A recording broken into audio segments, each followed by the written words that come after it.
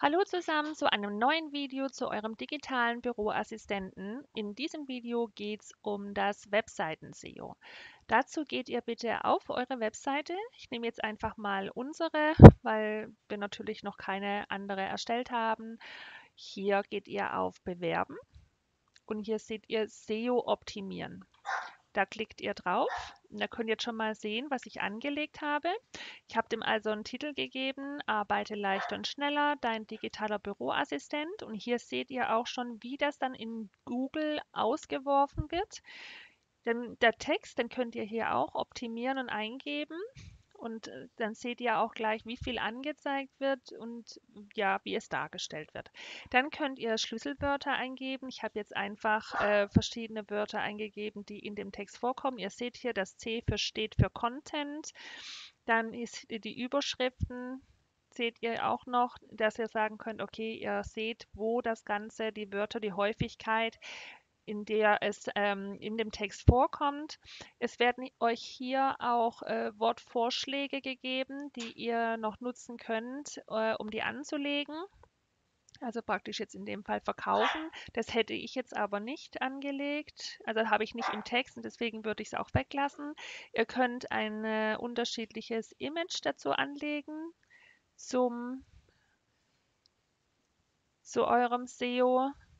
Dann seht ihr auch hier nochmal, wie das Ganze mit Bild angezeigt werden würde. Ich habe mich jetzt einfach für das Bild entschlossen, äh, weil ich finde, dass das am aussagekräftigsten ist zu, unserem, zu unserer Webseite. Dann geht ihr einfach weiter zur nächsten Seite, macht hier zum Beispiel Büroaufgaben, dann seht ihr hier wieder SEO optimieren.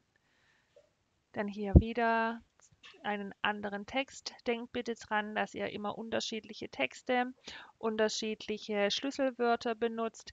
Ihr könnt hier auch je nachdem, welche Seite, ich zeige euch, euch dann gleich nochmal, sind ja Deutsch und Englisch angelegt. Dann kann ich euch das gleich mal zeigen, wie unterschiedlich das, das dann ist.